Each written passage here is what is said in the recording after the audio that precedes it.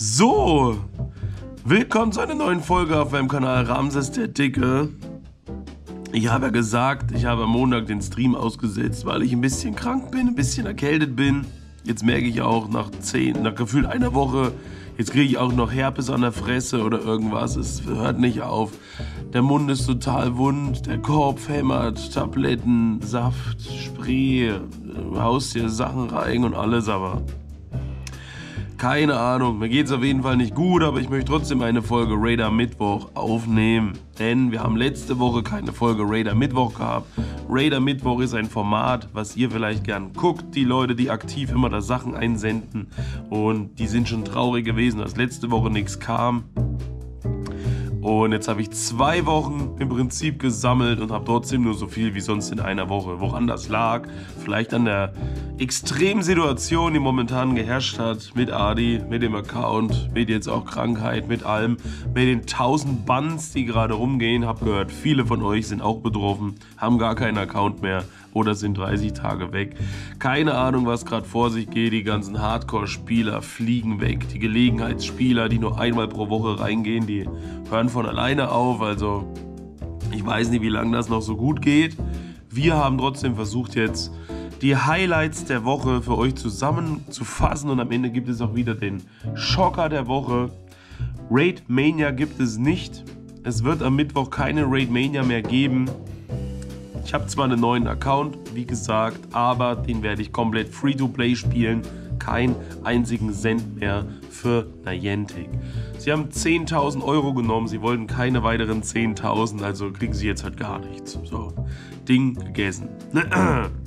Jetzt aber zu den Highlights der Woche und natürlich auch dem Schocker der Woche. Angefangen hatte die Woche, also vor zwei Wochen, dieses Bild, da habe ich von Heiko nämlich mein letztes Ticket bekommen zum Z-Day, für den Glumanda Z-Day.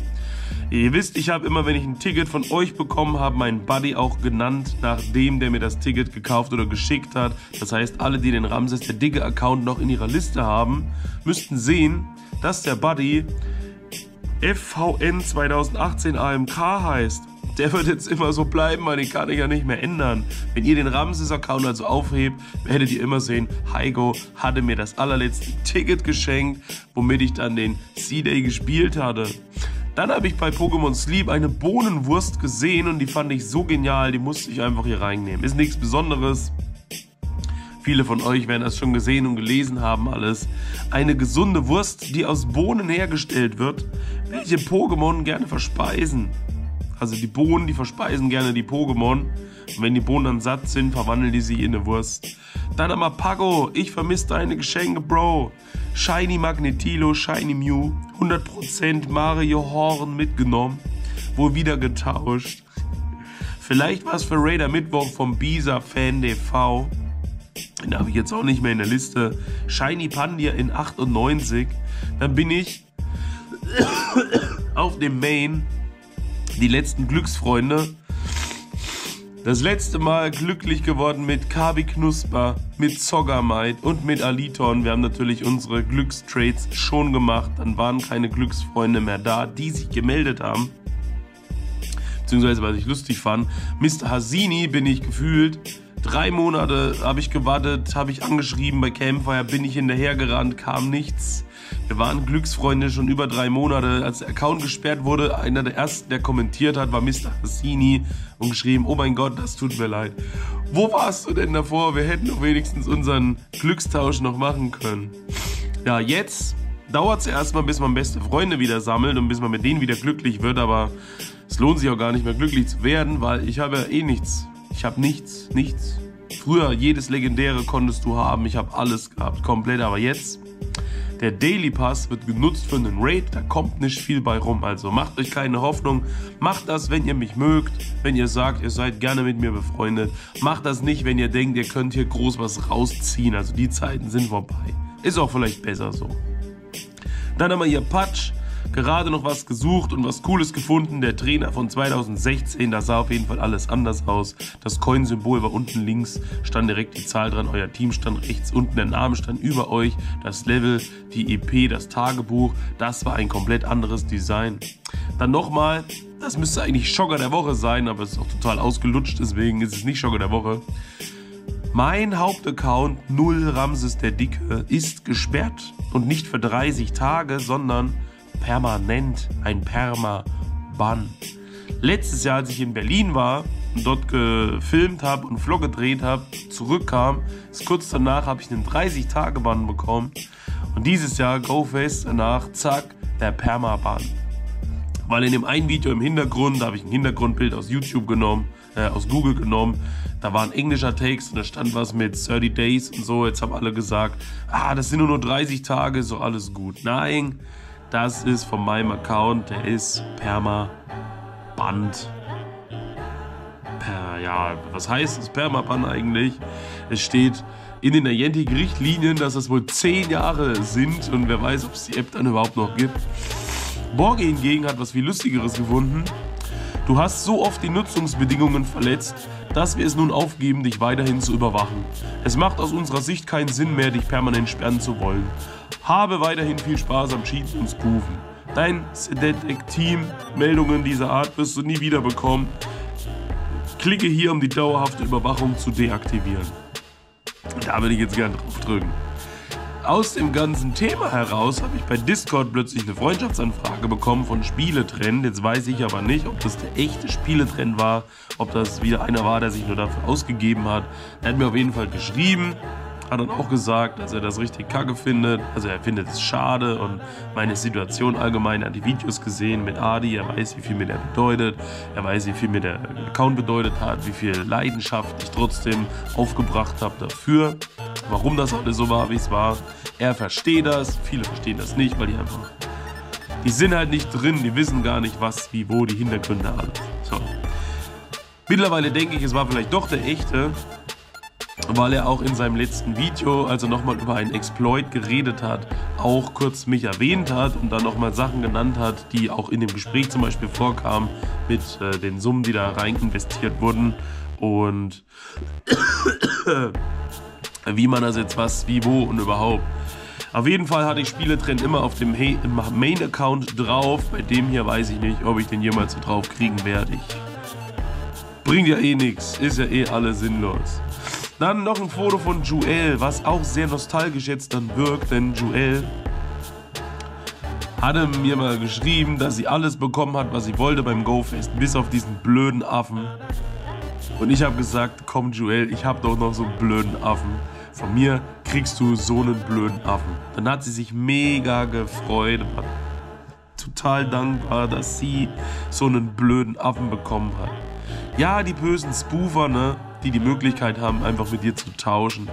Und die, wenn sie viel gespielt haben, halt mehrere Shinies haben und die dann verlosen können oder verteilen können in der Community oder bei Lucky Trades abgeben können. Oh mein Gott, was habt ihr da für Nachteile, ne? Sie hat sich mega gefreut bei den Affen, hat ihn jetzt auch hier mit in Urlaub genommen, hat mir nochmal so ein Bild geschickt. Ich habe jetzt gar keinen Affen mehr und das wird sie vielleicht in Erinnerung behalten, weil es gefühlt eines der letzten Trades war, die ich gemacht habe, wo ich jemandem was gegeben habe. Paco hier mit dem 100er Pipi, dann mit dem 100er Glurak, was auch mega entwickelt wurde, ein 100%iges Evoli, Flauschling in Shiny vorhanden. Dann endlich alle drei selbst gefangen. Endlich. Arktos war echt ein Krampf. Hat hier also die Gala-Vögel. Hat sich einen getauscht gehabt, hat jetzt selber aber auch einen bekommen. Arktos hat wohl am längsten gedauert. Ich hatte auch alle drei Gala-Vögel in Shiny Lucky auf 40 gezogen, wollte die mal in der GBL irgendwie ausprobieren. Habe ich, glaube ich, gar nicht gemacht oder so, kam ich gar nicht dazu. Ist jetzt auch wieder kein Thema. Ihr seht, egal was ich mir angucke, mir fällt immer was von mir ein, was mich wieder triggert. Dann gab es das allererste Ticket für den neuen Account, für den Habanero Lime von Henry Niki. Der hat gestern nämlich Hilfe gebraucht. Und als Dankeschön hat er mir plötzlich so ein Ticket geschenkt für diese Pamo-Forschung, die total nutzlos ist, aber er hat es trotzdem gemacht. Deswegen heißt mein aktueller Buddy jetzt Henry Niki, weil mir schon wieder ein Ticket geschenkt wurde. Macht das nicht. Schenkt mir keine Tickets. C-Day-Ticket ist okay, das ist nur ein Euro und das ist einmal im Monat und da gibt es schöne Inhalte. Aber irgendwelche Sachen, wo man sich für 6 Euro einen Rucksack kauft, das muss nicht sein. Ich werde natürlich trotzdem ein kleines Video drüber machen, das dann abholen im Video, mich dann nochmal bedanken extra. Aber es ist jetzt nicht mehr so wichtig. Es ist nicht so wichtig. Man muss nicht alles haben, sagen wir mal so. Genaya hier 100% erlöst ist Vulpix. 100% Makuhita. Dann hat sie ein Shiny bei Sleep bekommen. Wusste ich gar nicht, dass es da Shinies gibt. Hier nochmal Shiny Wablu, Flauschling und äh, Tangela. Shiny Ferkuli, Shiny Hopspross aus Rom. Die ist nämlich gerade im Urlaub. Wundert euch nicht. Ah, Spoofer. Die hat ein also wer mal in, in, den Gruppen so unterwegs ist, da hat sie sogar Urlaubsfotos reingepostet vor Ort und von irgendwelchen äh, Kolosseen und irgendwelchen anderen. Bier, Bier hat sie auch gepostet, genau. Dann Selal, der hat mir wieder 120 Fotos geschickt. Ich habe fast alles rausgelassen, aber dieses Schlurp ist dabei, dieses Yorklev, dann aber Lilminip. Wir haben Skorkler, wir haben Minon. Wir haben seltene Pokémon in 2016 und seltene Pokémon in 23. Früher ein Relaxo war selten. Mittlerweile ist es selten, wenn es ein 100% shiny äh, Cowboy-Hut Relaxo. Das wäre dann selten. Das ist nämlich voll übertrieben. Da seht ihr mal, wie das Spiel sich verändert hat. Dann aber nochmal Shiny Flauschling, Barmelin in 100, Barmelin in Shiny, Katagami und äh, Kagoron äh, in ihrer wahren Form und Natürlichkeit gezeigt. Arakwa Shiny, Pamo 100, den finde ich auf jeden Fall sehr cool. Habe ich ja im Game auch immer gehabt als Julchen. Das war mein Elektroangreifer, weil der neu war, ich das nicht kannte. Wenn ich einen 100er hätte, würde ich es auch Julchen nennen. Ich habe keinen 100er. Dann nochmal hier Shiny Fergoli, dann haben wir Triple X, hat sich eingeschlichen. Warum seht ihr, wenn ihr auf die Bälle guckt? Doru, Shiny, dann die Frage der Fragen. Was ist das Schwierigste von allen? Kekleon zu finden, Ignivor zu brüden, einen Gallavogel zu fangen oder 24 Stunden lang sich nicht über eine Yendik beschweren zu müssen. da könnt ihr mal sagen, was eure Antwort gewesen wäre. Kaiser Kai, nächstes, was ich endlich gemaxt habe. Tourdog für Mega-Entwicklung sicherlich, dann auch mit Sonnenbrille, 100% alles dabei. Einfach random Tausch. Habe die natürlich sofort entwickelt. mit Kada getauscht, 100% Glumanda. Ist Shiny, habe es auch erst nach dreimal Hinschauen gesehen. Shiny Fluffeluff gebrütet. Max Out Dienstag gemacht. Fehlt nur noch Bisaflor. Brauche ich aber noch ein paar XL Bonbons. Kaiser Kai. Ja. Dann der Kaiser Kai weiterhin. Wenigstens ist er auf dem richtigen Account äh, gekommen. Das ist nämlich ein Shiny Pam Pam. Und da fällt mir gleich wieder ein, ich habe doch auch zwei Shiny Pam Pam gehabt. Ich wollte die mal in dem Video zeigen. Ich wollte dann das äh, entwickeln zu Pandagro. Damit man die Entwicklung auch mal sieht. Ist jetzt weg. Brauchst du nicht mehr zeigen. Ich wollte immer so sammeln, bis ich so 10, 10 neue Shinies hatte die dann in den Videos immer direkt entwickeln und zeigen. Aber hat sich jetzt erledigt. Bierschanker, dass die mal wieder was reinsendet, das freut mich persönlich ganz total. Und dann vor allem noch dieser Storch, der mich noch mehr an sie erinnert. Und der heißt Ade Boom, was mir Ade Bomb. Ade Boom und dann auch noch in Shiny und den gibt es ja nur im Dreier Raid, da muss ich mächtig Glück gehabt haben. Ich glaube nicht, dass sie jetzt 1000 Raids gemacht hat. Fergoli hat sie auch bekommen, noch hinterher gesendet. Sören, 100% Traunvogel aus der Pausenquest, scheinen häufiger aus der befristeten Forschung zu kommen. Hab schon viele gesehen, die Hunderter bekommen haben. Ferkuli, Sören, nach gefühlt 1000 getauschten Evoli. Das 315. Glücks-Evoli wurde zum 100er. Glückwunsch, endlich. Was machst du jetzt damit? Filinara, Glaciola, Psyana, ich glaube Glaciola oder Filinara wäre wohl mein Tipp. Dann noch, da reicht einer nicht, 100er Waumel mitgenommen. Reike, Shiny Parmelin aus Gundelfing, Baden-Württemberg. Mac Maggie, Shiny Flauschling. Shiny Krypto Zapdos. Nummer 1 und Nummer 2 hintereinander direkt. War eigentlich auch mein Ziel beim Dortmunder Raid Boost dann auf äh, Shiny Crypto Zapdos Jagd zu gehen. Wir wollten wieder gemeinsam Tour machen, gemeinsam raiden, Spaß haben. Hat sich erledigt. Ich weiß gar nicht, ob die anderen überhaupt noch eine Tour machen oder nicht. Jetzt war ja das Wochenende. Da wurde, glaube ich, nichts gemacht oder es wurde in einer anderen Gruppe gemacht. Ich habe keine Ahnung. Auf jeden Fall hat sich das jetzt auch erledigt. Für mich. MacMaggie hier nochmal 100er Funifras, 100er Kommandut an äh, Shiny Hopspross und Barmelin, Ferkuli, auch mal Schwein gehabt, noch mitgenommen. 100er Quacks, Shiny Hondusta. Weiblich und männlich in Shiny von Fragrunz, wo man den Unterschied sieht. Das hat Kruste am Auge. Und das, da sieht man es gar nicht, weil das Ohr drüber hängt. Der Schwanz ist aber auch anders. Alexander Aringer. Endlich Shiny Araqua in Pokémon Go. Meine Community Day Ausbeute von Glumanda Classic. Die Shiny Rade war etwas mau. Reicht. Familie voll. Endlich Shiny Ferkuli in Pokémon Go. Endlich Shiny Hondusta in Pokémon Go. Er hat auch wieder ein Daniel Schilling Bild geschickt. Ich habe das rausgelesen. Das kommt davon, wenn man wegfährt, dort zwei Haufen Pokestops sind, aber nur ein Showcase. Hauptsache, den habe ich gewonnen. Das ist Tiso. Glückwunsch dazu. Mit einem Glurak in XXL gewonnen. Das habe ich auch noch nicht gehabt. Oder doch? Ich weiß es nicht mehr. Ist schon so lange her. Schwein gehabt aus den Aufgaben, da noch ein Ferguli mitgenommen. Tears.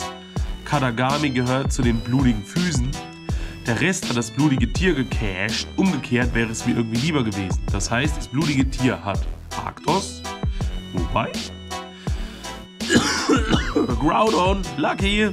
Das zweite, hundertprozentige. Da haben wir Blacks. Und was die blutigen Füße? Fios, Füße? Ein 100% Kadagami im allerersten Raid. Das war Pokédex-Eintrag mit dem 100er. Ich habe die XL schon gesammelt gehabt und zusammen. Ich habe noch keinen 100er gehabt. Ich war auf der Suche, habe dann gedacht, wenn das Ding weg ist, ich max auf jeden Fall einen 98er, weil ich genügend XL habe, um irgendwann einen 100er zu maxen, wenn das noch kommt. Weil das so ein guter Pflanzenangreifer ist, hätte ich einfach mehrere gemaxt und erstmal mit dem 98 angefangen. Hat sich jetzt erledigt. Gut. Bisa-Fan Enzo. Shiny Pikachu in 100%. Kann man mal mitnehmen. Timo zeigt uns hier einen super Automat. Das ist, glaube ich, der coolste Automat, den ich je gesehen habe. Nicht nur, dass da besondere Getränke und so drin sind, auch Takis, Samyang-Nudeln und vor allem die Hot Chip Challenge am Automat. Wie viel kostet die da? Ich habe damals so ein Ding für 7 Euro gekauft auf der offiziellen Seite. Mittlerweile gibt es viele Händler, die das verkaufen für 10 Euro. Wie viel wird das dann im Automaten kosten? 15? 20? Wenn eine Packung Samyang, die eins noch was kostet, da schon 4 Euro kostet, dann müsste der Hotchip ja mega teuer sein. Aber cool, dass es die im Automat gibt. Kannst unterwegs einfach sterben und es würde keiner mitkriegen. Cumulus nun auch in der richtigen Farbe. Fergoli, Shiny, Barmelin mit knallroten Ball. Shiny. Metagross 100% mitgenommen. Dann nochmal Tornado mitgenommen. Shiny Dedenne. Shiny aus dem Rauch. So sieht's aus. Die Straßen gab's im Shop zu kaufen, die waren mir aber zu teuer. Bestimmt nicht so teuer wie der Hot Chip, aber sehr schön. NS hat wieder zugeschlagen, der NATO-Sekt. Reed am Mittwoch hier ein 100% ähm, Bierschanga. Das musst du Bierschanga nennen, aber richtig schreiben, das passt schon. Lenz Hart, tauschen lohnt sich, 100% Glumanda, Voltenso. Aus dem Mega Raid, glaube ich mal aus dem Mega Raid rausgezogen mit Wetterbrust in Shiny, sehr schön. Dann hat er sein Impagado zu Imperium von Gunther und Kaiser und Giovanni umgedings. Erlöstes, hundertprozentiges Barmelin. Shiny hier am Start. Quacks aus der Feldforschung. 100% Quacks, mein Starter aus Purpur und ich habe es als Plüschtier in Berlin gekauft auf allen Accounts das wilde 100% Barmelin eingetütet. Warum auch immer. Benjamin wieder zwei Duo-Raids. ich korrigiere. Ein Duo-Raid. Nämlich Kryptozapdos zu viert. Ja, ich korrigiere nochmal. Ein Foro-Raid. Kryptozapdos zu viert ohne Edelsteine benutzen besiegt. Boss hatte Bohrschnabel. 46 Sekunden über. Und dann ein Solo-Raid ohne Edelsteine gegen Electek. Krypto Electek. Ja, brauche ich auch nicht. Hat sich für mich erledigt. Glückwunsch dafür. Brian lebt auch noch und hat einen Shiny Tornado eingesendet. Annika haben wir hier Bursti, haben wir mitgenommen in 100%. Dome, der heißt nämlich hier Dominik 1888. Ich bin, der YouTube kommentiert hat mit 100er Fergoli Shiny. Falls du Raider Mittwoch machst, kannst du ja mit reinpacken. Viel Glück, so viel Glück hat man selten. Liebe Grüße, Dominik, Mysterio. Wollte ja auch zeigen, dass ich es wirklich habe. Ansonsten schönen Abend dir noch. Liebe Grüße aus Elbe, Paray, Sherry, Choa Land. Kenne ich nicht. Sieht aber brutal aus. Da würde ich auch gern wohnen. 314 dp, Fergoli, Shiny in 100%. Das wollte ich erst als Schocker der Woche machen, weil ich finde das irgendwie cool. Dieses rosane Schwein in 100%. Dann kam Karin Suel. Die hätte dann Schocker der Woche sein müssen. Mir wurde ein Shiny Rayquaza geschickt, aber sie hat einen Shiny Rayquaza in Glücks 100%. Also das ist ein Schlando. Ne? Shiny Lucky Hando. Schlando. Ist cool, ist cool. Werde ich nie wieder haben. Gut, perfekt. Dennis. Galavogel gefangen. Benji. Skalyk gebrütet. Romeo. Ramses habt ein Video gesehen, das traurige, äh, die traurige Nachricht gehört, dass sein Account gesperrt wurde. Hoffentlich produzierst du trotzdem weiterhin den geilen, kranken Content. Das ist jetzt ein Unikat. Was ein 100% Raubi war, hast du mir trotzdem getauscht und ich hatte es noch immer in Ehren. Hatte einen 100er Raubi, das ist weggegeben. Außerdem hoffe ich, dir geht's gut und Adi gute Besserung, viel Kraft, gesund zu werden. Ja, das Fall. Adi geht's besser, mir geht's schlechter, wir haben die Seele getauscht. Da seht ihr, da habe ich ein 100% Raupi rübergetauscht. Er hat das Ramses genannt. Mittlerweile ist es ein Safcon. Das ist doch nett, dass dann noch an einen gedacht wird. Ich habe noch eine Nachricht auch von der Eva Leitner bekommen. Hey, guten Morgen, ich würde dir gerne eine kurze Geschichte erzählen. Seit Campfire existiert, habe ich eine richtig gute Freundin gefunden, die leider knapp 600 Kilometer von mir entfernt wohnt. Vorher habe ich lediglich alleine Pokémon Go so alleine vor mich hingespielt, aber sie hat mir unglaublich viel beigebracht. Von ihr habe ich auch von dir und deinem YouTube-Channel erfahren. Sie liebt deine Arbeit und ich deswegen jetzt auch. Du bist unglaublich herzlich, authentisch, ein liebevoller Kader-Dad. Vater, der einen Kader hat, ne, wenn er gesoffen hat. Ein Kader-Vater, ne? Ein Kader-Dad. und hast einen mitreißenden Humor. Sie hat schon mit dir mitgelitten, als du umziehen musstest, die Preise der Fernrate-Pässe so gestiegen sind und die Fernrates beschränkt wurden. Da sie selber kein Insta hat, habe ich ihr dann die Geschichte mit Adi erzählt, die uns beide sehr mitgenommen hat. Selber Kader zu Hause. Die saufen auch heimlich. Wir sind sehr erleichtert, dass ihr einen Weg gefunden habt, noch eine glückliche Zeit miteinander zu verbringen.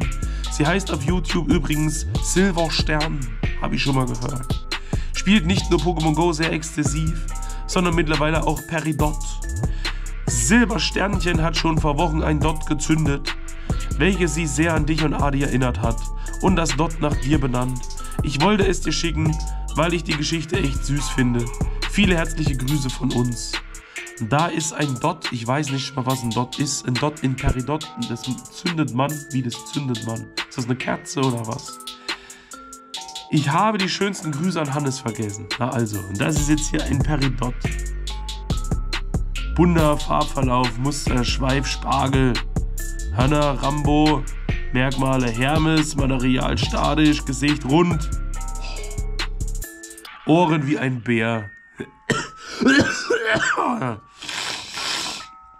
Ramsilu Silberstern. Ich verstehe zwar kein Wort, aber danke dafür. Balu hat ein, ich glaube, Shiny Krypto Zapdos mitgenommen. 100% äh, Zobiris gefangen. Feuerwehrfra, 100er Glumanda getauscht. 100er Felori gefangen. Shiny Stolunia bekommen. 100% Shiny Zapdos erlöst. Also das war gutes. Shiny Krypto. Sie hat es erlöst. Zu einem 100% Shiny, Zapdos. Hättet ihr das auch gemacht, wenn ich noch keinen 100er gehabt hätte? Ja, jetzt hat sich's eh erledigt, egal. Das hätte Schocker der Woche sein können. Oder die Dreistigkeit des Monats, aber sowas gibt's ja nicht. Das war das letzte Bild. Folge zieht sich heute ein bisschen wegen Krankheit. Wir kommen jetzt aber noch zum richtigen Schocker der Woche, der wahrscheinlich jetzt total langweilig wirkt, aber ich den halt so, als ich den gesehen habe, gedacht habe, oha, wir kommen jetzt zum Schocker der Woche.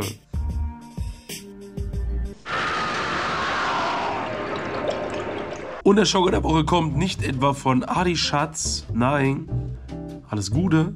Der kommt von Mega Groudon 2298. Der hat ein Frospino gefangen. In 100%. Am 12.09. in Hannover. Grüße gehen raus an Tobi. Ich höre ja schon von allen, die sagen, sie haben noch kein einziges Frospino gesehen. Dann gibt es die Leute, die sagen, sie haben in New York geschaut. Auf, in ganz New York sind nur drei Frospino gespawnt. Da muss er mal Glück haben, dass in deiner Stadt überhaupt ein Spawn und dann muss es auch noch ein Hunderter sein. Und das ist, glaube ich, ein Pokémon, was momentan am beliebtesten und begehrtesten ist. Ich habe gesehen bei Papanero in der Liste sind schon Leute, die Level 50 sind, die haben schon die fett, komplett fertige Endentwicklung als Buddy und rennen damit rum.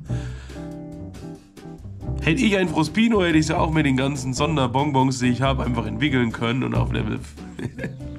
Sogar auf Level 50 ziehen hätte man sowas machen können für nix. Ja, egal. Ist leider nicht mehr so. Ich freue mich jetzt hier über, über eure Einsendungen. Da sehe ich immer, was ich alles verpasse und nicht mehr haben kann. Nicht mehr möchte, nicht mehr brauche, weil ohne Main macht das keinen Sinn. Das war es jetzt von meiner Seite aus. Wir sehen uns beim nächsten Mal wieder. Bis dahin, Peace out, Vorhaut. Euer kranker, kümmerlicher Ramses kleiner Feigling, Kümmerling. Erstmal Magen bitter. Tschüss.